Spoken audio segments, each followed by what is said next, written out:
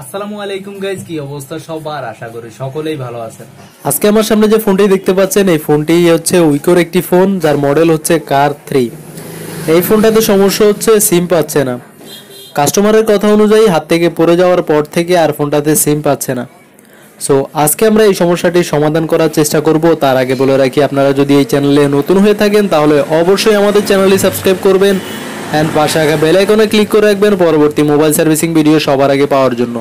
So কথা বাড়াবো না, চলুন শুরু করা যাক আমাদের আজকের এই ভিডিও সো প্রথমত আমি ধারণা করেছিলাম যেহেতু সিম পাচ্ছে না সিম স্লটের সমস্যা হতে পারে, কেননা সিম স্লটের একটা পিন ভাঙা ছিল। সো আমি প্রথমে যেটা করি সিম স্লটটা পুরো সিম স্লটটা চেঞ্জ করি চেঞ্জ করার পরেও সমস্যাটির সমাধান হয়নি। পরবর্তীতে আমি খেয়াল করে দেখতে পাই যে আসলে সিম স্লটের পাশে একটা পার্টস মিসিং পুরো লাইন সহ উঠে গেছে। সো আপনাদেরকে যদি আমি একটু ভালোভাবে দেখানোর চেষ্টা করি, তাহলে আপনারা দেখতেই পাচ্ছেন আসলে কোন পার্টসটি মিসিং এখানে। সো এই মিসিং পার্টসটা জায়গাটা যদি আমরা শর্ট করে দিতে পারি, তাহলে আমাদের সমস্যাটির সমাধান হয়ে যাবে।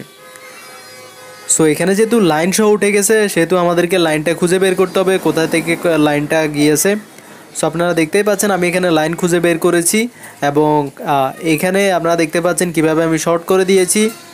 এই শর্ট করে দেওয়ার পরেই কিন্তু আসলে আমার সিমের যে সমস্যাটি, সেটি সমাধান হয়ে যায়।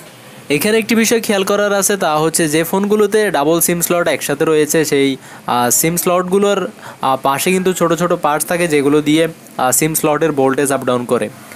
বেশিরভাগ ফোনগুলোতে কিন্তু সেই পার্টসগুলোতে সমস্যা হয় এবং প্রথমত আমরা পার্টসগুলোতেই আসলে খেয়াল করা দরকার। আমি ভুলবশত আসলে সিম স্লট আসলে ভুল বলব না, কারণ সিম স্লটটাও তো চেঞ্জ করা দরকার ছিল। কারণ হচ্ছে সিম স্লটেরও একটা পিন ভাঙা ছিল, আর সেজন্য সিম স্লটটাও চেঞ্জ করা দরকার ছিল, এবং এই পার্টসটা এখানে লাইনটাও ঠিক করা দরকার ছিল। সো মোট কথা হচ্ছে আমাদের কাজটি কমপ্লিট হয়ে গিয়েছে, আলহামদুলিল্লাহ। সোগাই যে পর্যন্ত। ভিডিওটি ভালো লাগলে লাইক করবেন, বন্ধুদের সাথে শেয়ার করবেন অ্যান্ড অবশ্যই আমাদের চ্যানেলটি সাবস্ক্রাইব করে পাশাকে বেলাইকনে ক্লিক করে রাখবেন পরবর্তী আপডেট সবার আগে পাওয়ার জন্য। সো আজ এ পর্যন্তই, ধন্যবাদ।